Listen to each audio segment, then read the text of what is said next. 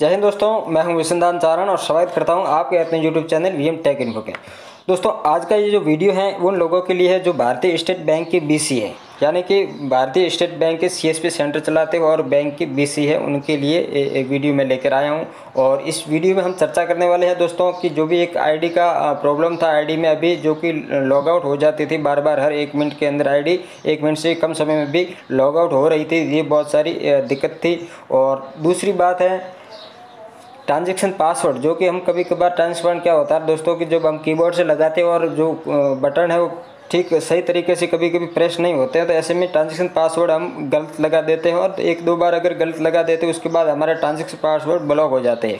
Block हो जाने के बाद दोस्तों, हमें ट्रांजेक्शन पासवर्ड वापस रीसेट करने के लिए हमारी कंपनी से संपर्क करना पड़ता है। तो ऐसे में क्या होता है कभी कभार कंपनी की जो टेक्निकल टीम है, वो हमारी मदद नहीं कर पाती, उनके पास भी कोई समय नहीं होता, रहता है या फिर वो व्यस्त होते हैं तो हमारी मदद नहीं कर सकते हैं। तो ऐसे में क्या होता है दोस्तों, पूरा दिन हमारा सेंटर बंद रह सकता है। कभी कभी दो घंटे, चार घंटे पूरा दिन भी बंद रह चुके हैं। मुझे भी ये चीज़ की कई बार प्रॉब्लम हो चुकी है।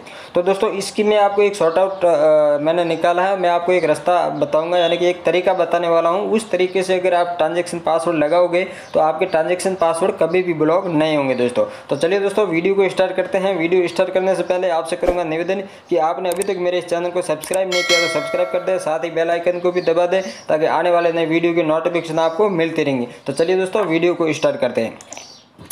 दोस्तों आप जैसा कि आप देख देख रहे हैं यहाँ पर मैंने आ, मेरा जो आईडी है लॉगिन कर रखी है यहाँ पे एसबीआई की जो मेरे सीएसपी सेंटर की आईडी है वो मैंने यहाँ पर लॉगिन कर रखे हैं। तो इसमें मैं पहली न्यूज़ आपको ये बता देता हूँ कि हमारे सबके लिए बहुत ही अच्छी और गुड न्यूज़ ये है कि जो हमारी आईडी है, बार बार लॉग आउट हो जाती थी तो उसका भी प्रॉब्लम सॉल्व हो चुका है। दोस्तों, आज मैंने इसको आईडी को कम से कम 20 मिनट तक ओपन करके रखी है, और उसको मैंने कोई ट्रांजेक्शन नहीं किया था, उसको हाथ भी नहीं लगाया था, और वो आईडी अभी तक लॉग इन लॉग आउट नहीं हुई है। तो ये हमारे लिए बहुत ही अच्छी खबर है, और अच्छी गुड न्यूज़ है।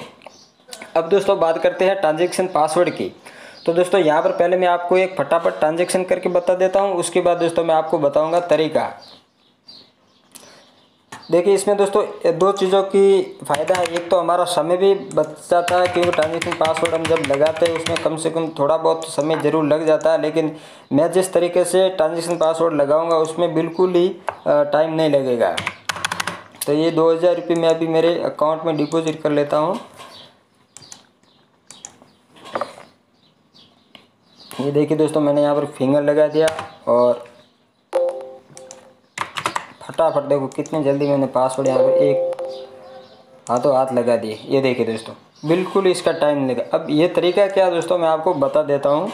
यहाँ पर दोस्तों आपको क्या करना है जो भी ये एक नोट है, अपनी स्टिकी नोट जो होती है, उसको ओपन करके रखना या फिर कहीं पर कहीं पर भी आप अपने सिस्टम में उसको टाइप करके रख सकते हैं। जो कि मैंने यहाँ पर ट्रांजेक्शन पासवर्ड है वो टाइप करके रखे है। तो इसको क्या करना है दोस्तों, आपको ऐसे सेलेक्ट करके इसको कॉपी करके रख देना है। ठीक है दोस्तों, उसके बाद आपको दोस्तों क्या करना है आपको शिफ्ट और इंसर्ट पहले आपको शिफ्ट बटन है जो कीबोर्ड का, उसको प्रेस करना है शिफ्ट वाले को, और उसके बाद इंसर्ट के बटन को प्रेस करना, दोनों को एक साथ प्रेस करना है। शिफ्ट व इंसर्ट इसको आप जैसे प्रेस करके दोस्तों, वो वहाँ पर पेस्ट हो जाएँगे दोस्तों।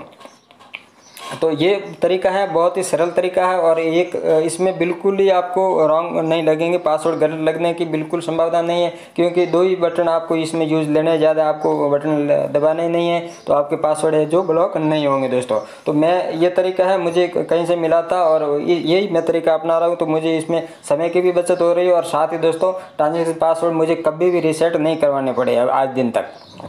तो आप भी, मैं चाहूँगा कि आप भी ये तरीका अपनाएँ, ताकि आपका समय भी बचे और आपके ट्रांजेक्शन पासवर्ड भी कभी ब्लॉक ना गए तो दोस्तों, आज की वीडियो बस इतनी, आपको न्यूज़ देने वाला था, और उम्मीद करता हूँ आपको वीडियो अच्छा लगा होगा। अगर वीडियो अच्छा लगा तो इसको लाइक कर दे शेयर करें, और आपका कोई सवाल है तो कमेंट करके मुझे ज़रूर बताएगा चलिए दोस्तों, मिलते हैं कोई अगले नई वीडियो के साथ, तब तक के लिए जय हिंद, जय भारत।